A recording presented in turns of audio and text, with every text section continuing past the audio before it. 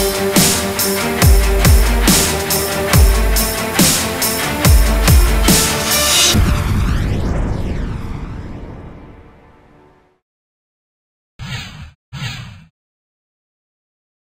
Може да има протести на зърнопроизводители заради спорна наредба. Тя ги задължава да монтират измервателни устройства на съдовете си за гориво. Според народния представител, председател на Комисията по земеделие в парламента Румен Христов, не е ясен ефект от наредбата, тъй като може да се похарчат милиони, а контрабандата да продължи.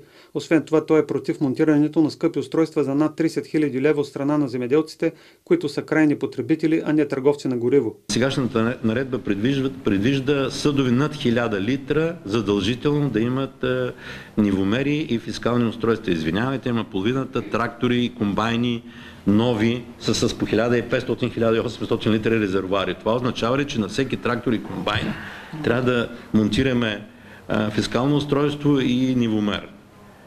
просто не бяха така взимати предвид бележките, които бяха направени преди всичко от бранша и от специалистите и беше наложена тая наредба. Според мен ефекта не мога да го коментирам предварително, но а, а, инвестициите, които трябва да направят са за някои по-древни земеделски производители непосилни.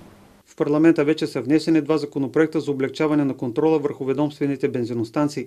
Едно от предложенията предвижда изискванията на наредбата да въжат за съдове за съхранение на горива над 10 тона и за земеделци, които консумират над 15 тона гориво годишно.